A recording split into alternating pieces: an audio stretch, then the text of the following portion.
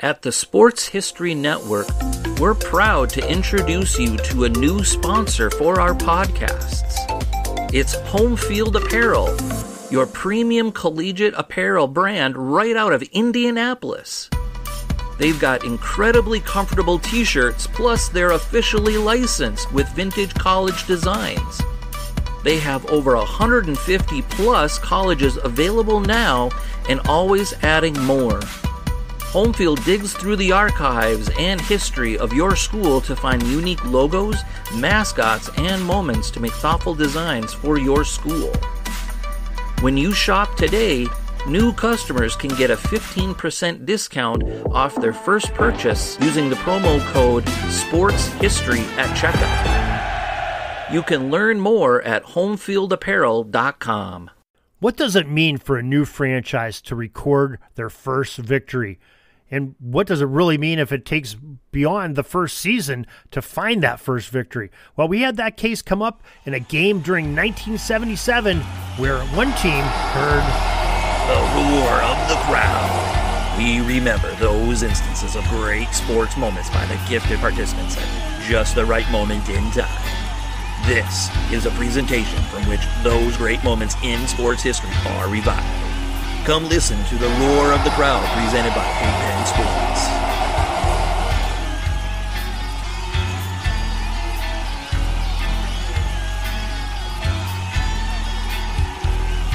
Hello, my friends of sports history. This is Darren Hayes of the Pigskin Dispatch and Sports Jersey Dispatch podcast, the Pigpen Sports affiliates, to bring you one of the great shows that we've come up with, The Roars of the Crowd. Hope you've been enjoying this series uh, where we talk about each day uh, an event that happened where crowds were cheering and just uh, celebrating some great athletic accomplishment. And we have one of those again today.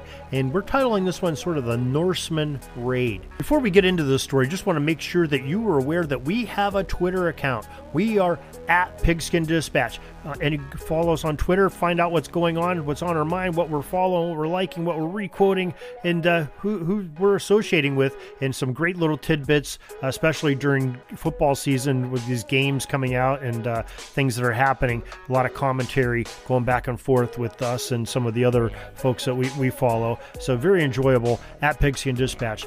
Also, Facebook, we have the at Pigskin Dispatch, but we have the Pigskin Dispatch Facebook page where you can follow what's going on there. Now let's get into our story. Now, there was a rare early season Saturday night game in the NFL back on September 24th, 1977. Pretty odd indeed for a Saturday night game. The Minnesota Vikings, then coached by Bud Grant, traveled to the Sunshine State to pay a visit to a rather new team in the NFL, the Tampa Bay Buccaneers. The Buccaneers, they were in their second year of existence, and they really weren't a very good team. A year prior to that, in their debut, the, the Creamsicles, as they were called, because of their oddly colored orange uniforms that they wore at the time, uh, they sort of melted under the heat of the other NFL teams, with them finishing 0 16 in their inaugural season. Uh, if you remember right, that 1976 season, it brought into the NFL not only the Tampa Bay Buccaneers, but the Seattle Seahawks as well, as they, they both came into the league that year. Their opponents, the Minnesota Vikings, were on the other side of the spectrum. They were one of the top National Football Conference teams, uh, a place they had been for much of the 1970s under the leadership of Bud Grant and their great legendary quarterback, Fran Tarkenton. And don't forget about the Purple People Eaters defense that they had, some great players there as well. However, they, uh, the Vikings, entered this game with an 0 1 record after losing in week one to the Dallas Cowboys uh, 16 to 10 in the opening week of play of National Football League. Now, this was the only game being played of the Saturday night special, uh, so a national audience got to watch the Buccaneers, many for the first time. Now, Tampa did not disappoint as they played extremely well, uh, especially on defense, holding a 3 to 2 lead at the half. That sounds a little bit more like a baseball score than a contest in the NFL. But the points were a product of a defensive back, Jeris White of the Buccaneers, picking off uh, Minnesota's pass from Fran Tarkenton near midfield, and you know they got themselves in position to kick a field goal, uh, taking a three nothing lead. Just a little bit more, longer later after that, uh, Minnesota ended up scoring their points on a safety, thus that three to two score. Now. Things at halftime had to be going through a lot of people's minds. You know, could Minnesota lose this game to a team that had never won an NFL game ever? The Vikings, after all, were the defending NFC champions. Uh, they represented the, their conference in the Super Bowl, losing to the Steelers in a very good game of Super Bowl nine. Surely they could not lose to the worst team in the league.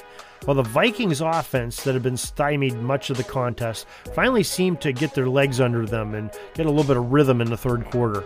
The frustrated players in purple were finally seeing veteran quarterback Fran Tarkenton and company move the ball.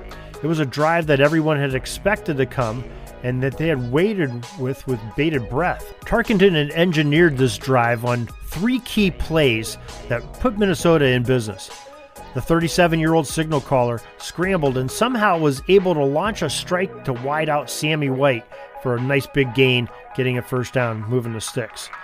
Next, a few plays later, was an eight yard toss to running back Sam Johnson to, to move those chains again and keep a drive alive.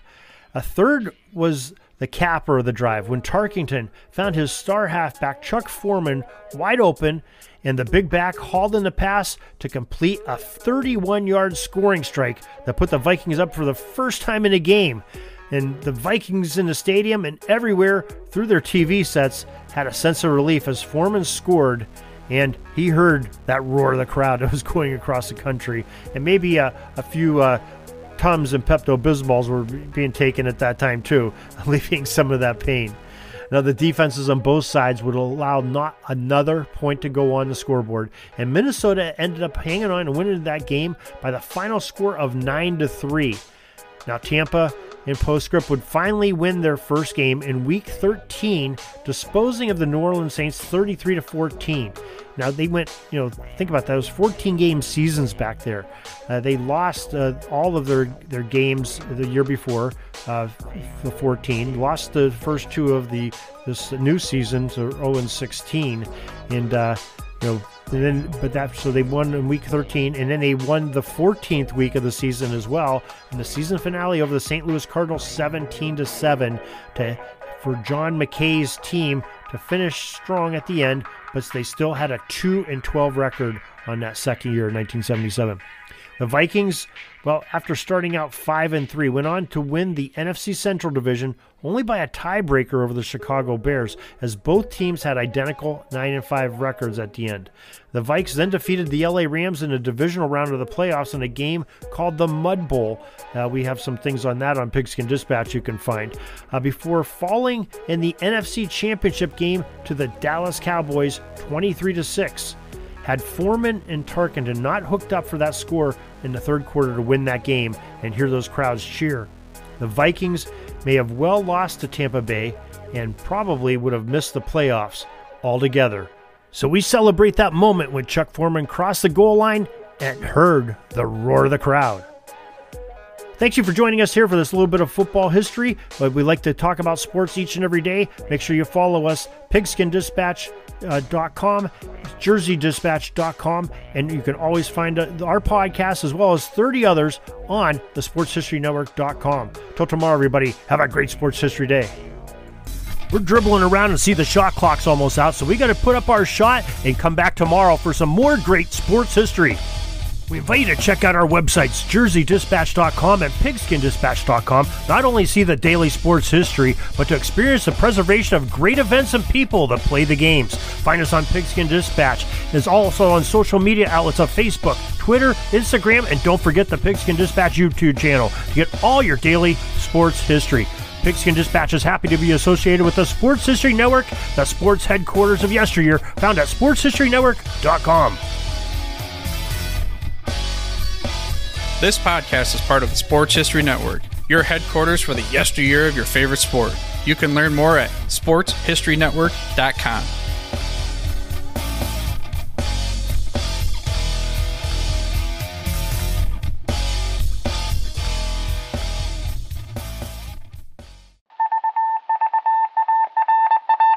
It was just another ordinary day in the offices of the Pittsburgh Guardian newspaper circa 1924. But for Marla Delft, assistant editor, everything was about to change. For she was about to discover the awesome attractiveness of Row 1 brand retro sports paraphernalia items thanks to Orville Mulligan, sports writer. And there it is. Wow, Orville, that's really the bee's knees. Isn't it just? A poster sized replica of the actual 1909 World Series program cover. I can see that. But where did you get it? And where'd you get it framed?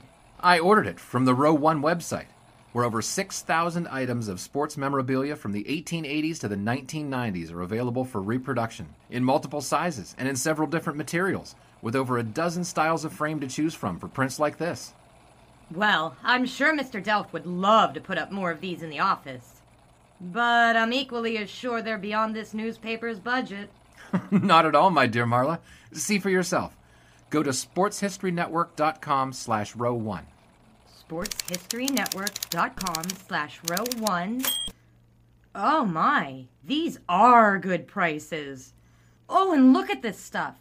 Oklahoma Nebraska football, college basketball art, Michael Jordan items. And so it was that sports Marla Delft discovered the splendiferous magic of Row 1 sports memorabilia, arts, and prints. You can too by visiting sportshistorynetwork.com slash row 1. That's R-O-W number 1 today for access to the full Row 1 catalog of gallery prints and gifts like t-shirts, long sleeve shirts, telephone cases, coffee mugs, blankets, pillows, towels, and even shower curtains.